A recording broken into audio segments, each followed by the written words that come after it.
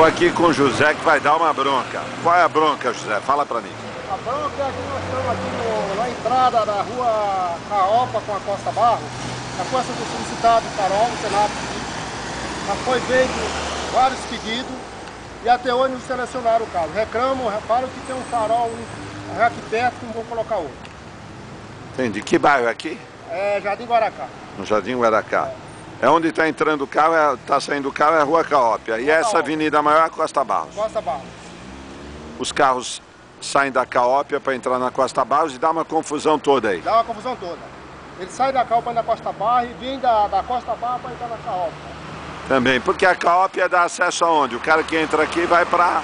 Vai para pegar oratório, vai para linha industrial. Tá? Quer dizer, é uma área importante. Uma área importante. Esse farol aqui é muito importante aqui. E o pessoal não tem, e o pessoal não tem tomado a providência não tem necessária. tomado a providência necessária. Entendi. Ah, mas vocês já fizeram abaixo assinado, fizeram tudo isso? Já fizemos assinado, fui na prefeitura, já liguei para a CT.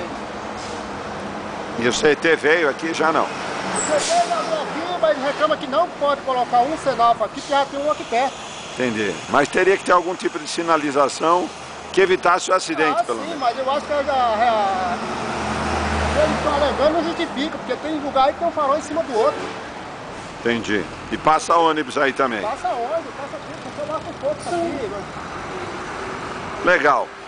Obrigado pela tua bronca.